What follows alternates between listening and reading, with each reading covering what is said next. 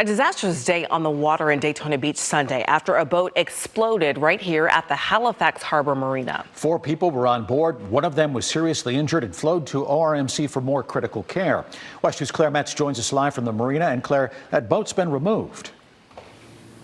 Yeah, Jim, the owner out of Edgewater got the 34 foot Wellcraft out of the water sometime late last night. You know, following that explosion and then fire, the boat partially submerged. We just had a boat explode on the fuel dock. Halifax Harbor Marina fuel dock.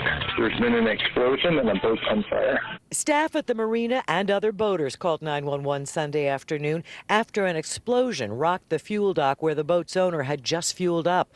All of it caught on the marina's security cameras. Loud explosion, smoke. I'm not actually seeing flames, but it's still smoking. There were flames as well. Fortunately, the fire department is a block away and first responders were on scene quickly, extinguishing the blaze and helping the injured. A woman on board suffered burns that led rescuers to fly her to ORMC. Three others, including the owner, were treated on scene for minor injuries.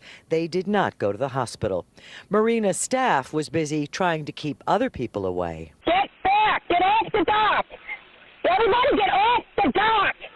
Now! According to the report, the owner told officials he'd just finished fueling up when someone else on board, a passenger, tried to start one of the motors. The owner said he had the blower vents running while he was fueling. The report says it's still unknown if there was any other way vapors leaked into the hull, causing that explosion. Mm. And we've learned that the woman who was taken to ORMC remains hospitalized and will have to undergo surgery, but that her injuries are not life threatening. Live in Daytona Beach, Volusia County, Claire Metz, WESH 2 News.